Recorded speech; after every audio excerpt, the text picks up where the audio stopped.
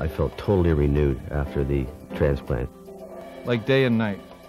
Ab- like absolute day and night. Like the things that I can do now are, are like joyful. I can hardly believe it, really. It's so much better um, in terms of energy and freedom. I think the experience has made me aware of so many more things in life, things that I always took for granted, especially the people in my life. And um, the transplant experience has made that happen.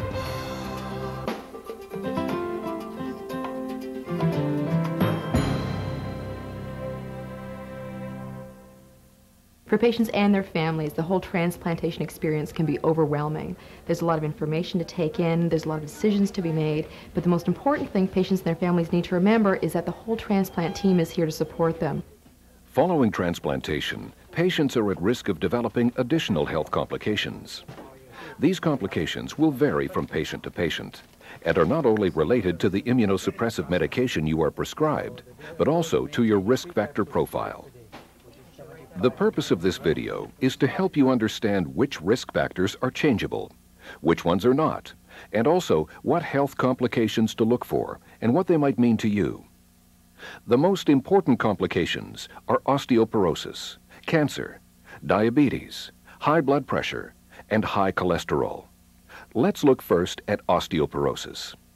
Osteoporosis is a disease where there is a decrease in the bone density or a loss of bone mass. Over time, this makes the bones brittle and susceptible to fracture. It's also very more common with females related to hormonal changes. Also, the medications that we give after transplant can cause osteoporosis. So it's a side effect of the drugs that we give. We are still learning a lot about osteoporosis in the transplant patient, and we know that the greatest risk is in the first six months when the steroids are highest, and it may well be that therapy will not be uh, necessary long term, so that if we can treat during the high risk period, we can prevent the problem. The outlook for osteoporosis can be good. It's something that we need to treat early, and we are trying to treat it in a preventative fashion right now, monitoring our patients pre transplant in some cases, as well as post transplant and continuing along the way. We know that one in four women over the age of 50 have osteoporosis, and we know that one in eight men over the age of 50 have osteoporosis.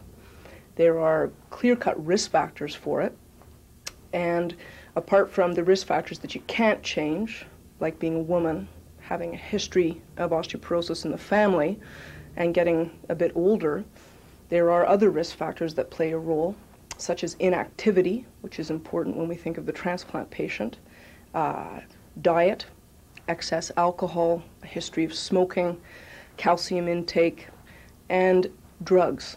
And this is really where the big role comes in in the transplant patient.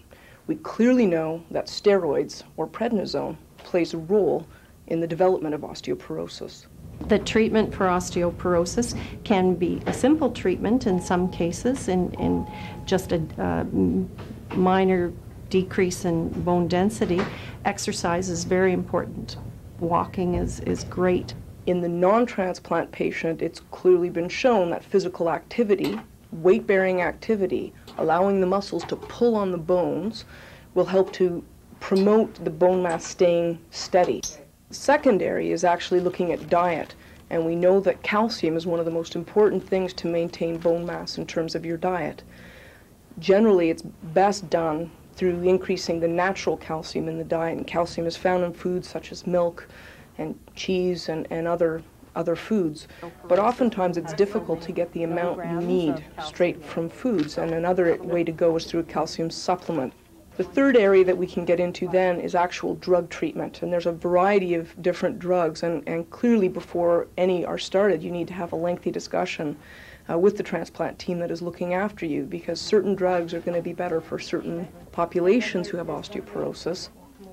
I was diagnosed with osteoporosis just under a year ago. It's in my spine, is where it is. And um, that hasn't made a big difference or a big impact in my life either. I've just kept on with most of what I've done. There have been a few changes. Um, they have me on a drug that builds bone density. And um, a little bit, I'm a little bit more cautious of my diet. I always drank milk and had lots of calcium products, um, but I'm, I'm especially careful now to make sure that I get them. And the other thing is that I make sure that I get weight bearing exercise at least a couple of times a week. You want to remain active, you've just undergone a transplant, and you want to now get back to life as best you can. One of the most important postoperative complications is an increased risk of cancer. It comes because of the use of immune suppress suppressive agents. So the, the job of the immune system, if you like, is to recognize parts of the body that ought not to be there and then to attack them. That obviously is important in terms of transplanted organs. So we have to suppress the immune system's ability to do that. Unfortunately, that also interferes with the immune system's job in other respects. Infections, recognizing that, and also recognizing abnormal cells and controlling their, their growth, which is part of what the immune system also does. Consequently, on immune suppressive agents, there are certain cancers which are just more frequent. There are four cancers that transplant patients need to be most aware of. Skin cancer, cervical cancer, lymphoma, and colon cancer. The most common of these is skin cancer. And although it doesn't develop right away, uh, it can develop in patients uh, many years post-transplant. There are specific signs and symptoms that will help us to detect a cancer. In terms of skin conditions, any change in a mole or development of a new mole should be looked at carefully. You should always watch your skin, look at your arms, your hands, your face, and ears, and watch for any developing new spots which don't look normal to you.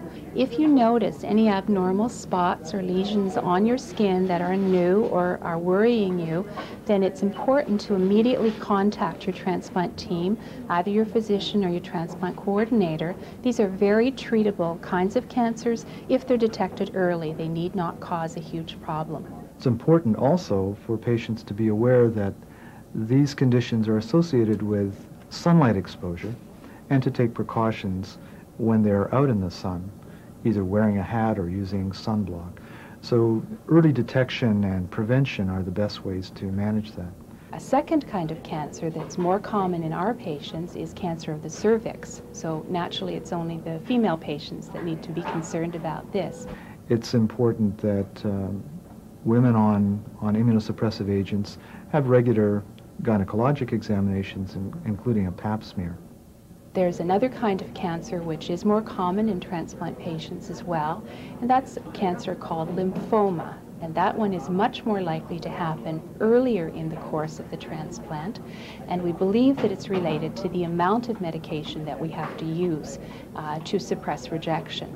With the lymphomas, those are often uh, seen as changes in lymph nodes and the swelling of the lymph node. So these sort of, of uh, things when they, when they become present should be discussed with a transplant coordinator or with physicians at their visits.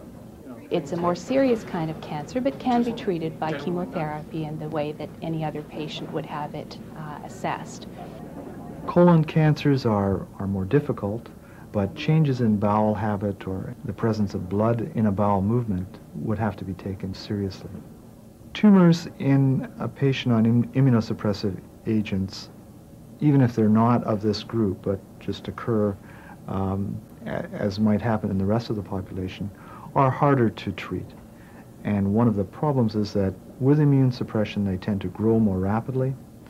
Secondly, the use of chemotherapeutic agents, which is, are the standard therapy for many types of uh, cancers and, and other tumors is more difficult. The presence of immune suppression already uh, can put patients at risk with chemotherapy for a marked change in their bone marrow and open them up to more problems with infection. I think that the patient has a major role, obviously, to play in the management of, of uh, of tumors, primarily in the cancers by early detection, by noticing and bringing to the attention of, of the transplant team those changes in the skin or uh, possible changes in, in bowel habits that can then create a situation in which investigations take place. Although transplant patients may be more at risk for certain cancers, They are just as susceptible to other cancers as the rest of the population. Part of a healthy lifestyle should include a regular prostate exam for men and regular breast self-examination and mammograms for women. About uh, two years ago, uh, during one of my assessments, I had a bronchoscopy, and, and uh, one of the biopsies they had taken from my lungs showed some abnormalities in the cell tissues, and it turned out that it was a lymphoproliferative disorder, which is a type of lymphoma that can occur after transplantation. They think it's uh, due to being immunosuppressed in combination with the Epstein-Barr virus. And that was uh, a tough one to hear. Uh, you hear lymphoma, you think cancer and all that goes in with that. Um, however, uh, you know, that was two years ago. Uh, and I'm still here and still feeling fantastic. But uh, it definitely is something that has been difficult to deal with at times. Diabetes is a serious complication that all transplant patients need to be aware of. It will affect patients who already have it and those that do not. The risk of diabetes varies from patient to patient depending on certain risk factors that include family history, age, and weight. Patients who have been living with diabetes before the transplant will probably need to adjust their insulin and diet. The signs and symptoms of diabetes include increased urination, increased thirst, weight loss, and blurred vision. Diabetes is a medical condition that um, results from uh, the pancreas not able to produce enough insulin, or the insulin, in fact, is not being used properly. Diabetes has its own set of complications. This includes higher risk of uh, heart attack and stroke, visual disturbances, and also problems with the circulation to the small blood vessels in the fingers and the toes. Our patient population has an increased risk of diabetes related to the drugs that they're on to protect their transplanted organ. In the early transplant period, when patients are on high doses of these medications, this is when we may first see the onset of diabetes. These patients are coming for frequent blood tests, and abnormal blood sugar levels are picked up very quickly. If our patient population has an history of diabetes pre transplant, then we watch them closely post transplant again, but we also work with them to adjust their insulins accordingly. If a patient is a new onset diabetic, uh, we would try and control their blood sugar initially with diet or pills. If we had difficulty controlling the blood sugars, they might require insulin injections. Patients who are diabetic before the transplant, if they've been on pills and diet control before the transplant, they could probably anticipate being on insulin injections after the transplant to maintain good blood sugar control. But knowing those factors, we can try and reduce their risk by controlling their blood sugars well. And uh, good diet and exercise is important for controlling their weight. The duration of the treatment may be depending on how well the person responds to the medication. And certainly when the steroids are reduced, there may be an improvement in blood sugar. So it's very individualized for each patient. With uh, good blood sugar control and a proper diet, in consultation with the entire transplant team, we hope to be able to give these patients a better quality of life and limit the complications of the diabetes. My diabetes was something that I had to deal with before transplant. It wasn't caused because of transplant. And I find now, after sort of settling into a routine, I'm actually on less insulin now than I was before. I've been on and off insulin um, since the uh, transplant basically it depends on how high my uh, dose is for steroids and as, as that's lowered so is my insulin requirement. Remember to look for the signs and symptoms of diabetes. They include increased urination increased thirst weight loss and blurred vision. Your transplant team has information available to help you manage this condition. High blood pressure is also common for many transplant patients these patients will need to be monitored and may require medication. It occurs in transplant patients for different reasons depending on uh, which of their organs has failed and which organ they received a transplant of. It's common for patients with kidney disease to have high blood pressure even before they get transplants. It's common for all groups of patients to have it after transplantation, primarily because of medications most patients get no symptoms whatsoever of high blood pressure. Occasional patients may have uh, symptoms uh, such as headaches or feeling unwell. Patients who have a tendency to high blood pressure pre-transplant will most likely require something in the post-transplant period. The type of medication that the patients are treated with varies from patient to patient. The effectiveness of the medication in each individual patient is based on the side effects the patient has and how effective the blood pressure pill is at controlling their blood pressure. We have a variety uh, of things that we can do to treat. We start uh, with diet in the sense of optimizing weight, of avoiding extra salt, generally avoiding the salt shaker. Exercise may also be helpful, avoiding things like smoking and alcohol. It's very important for the patients to let us know immediately to monitor their blood pressure at home if they have the equipment, to write down those blood pressure readings and bring them with them when they come to see their physician in clinic, and to let us know if there's any side effects they're having, headaches, for example, and letting us know as early as possible. If you do have a problem either with the changes in your lifestyle we've suggested or with side effects from the medication, it's critical that you communicate those to your doctor or nurse so that we can address the problems with you and to find a regimen that works for you and your blood pressure. In combination with good diet and exercise and the medications that are available, blood pressure can be treated very effectively.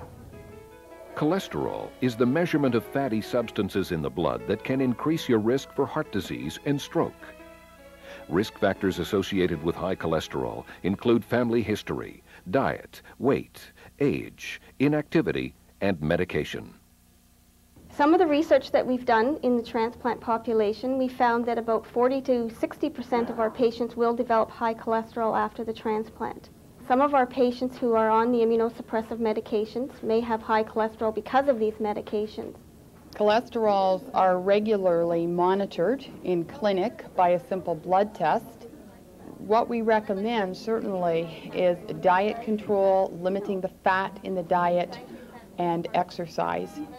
Once you have been identified with high cholesterol, we ask that you uh, meet with a dietitian and go over the nutrition care plan for high cholesterol.